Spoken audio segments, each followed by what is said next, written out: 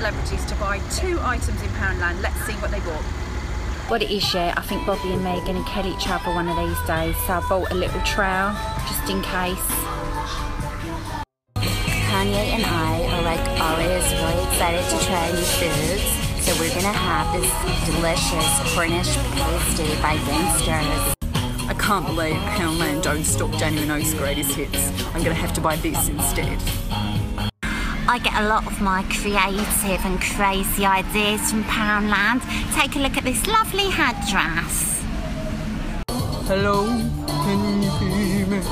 Probably not, because I'm in Poundland in Tottenham. anyway, I've got some Kleenex because all my songs are about crying, yeah?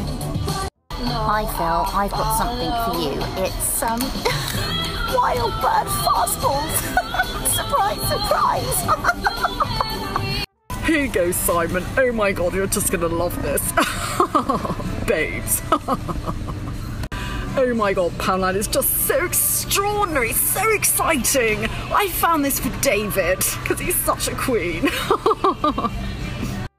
Sorry, but I just can't accept this Toblerone. Um, so I'm gonna have to split it with you, Beyonce, you know, because you are monumental.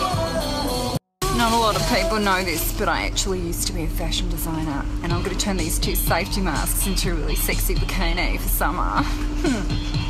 Ooh, ooh, ooh, ooh, ah. I live in such a complete frenzy of weirdness that I bought up my own range of tissues. Look.